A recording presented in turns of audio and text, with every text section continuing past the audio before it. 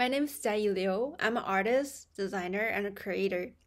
I graduated from School of Art Institution of Chicago, and I'm currently work in China Central Academic of Fine Art as an inter- uh, experimental information group, and we are managed to um, design 3D experiment for website.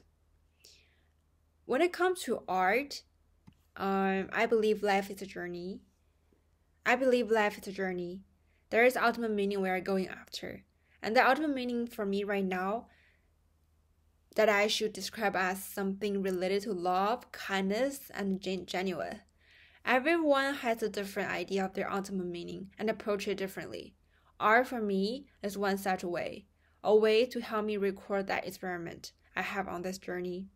It's like I'm trying to cut something, and art or creating is the sharpest knife that I ever had.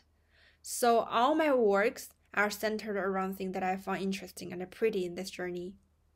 I like all the small interaction moments. For instance, touching skin. When I touch skin, skin also I also feel the touching. So the, the theme of my work is also around revolve around the interaction, the small interaction with me and others, people with society, and object with objects.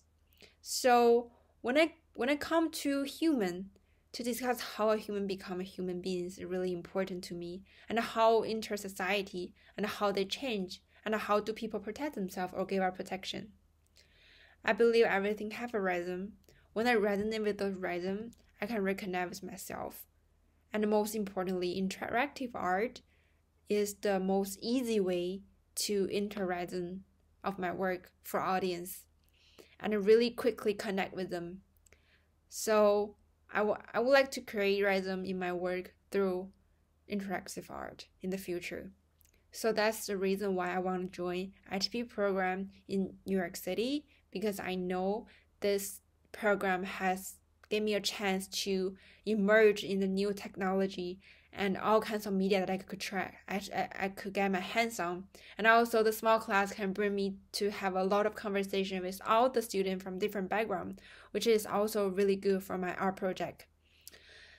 So thank you for consideration and I hope I can study with you guys in the future. So have a good day.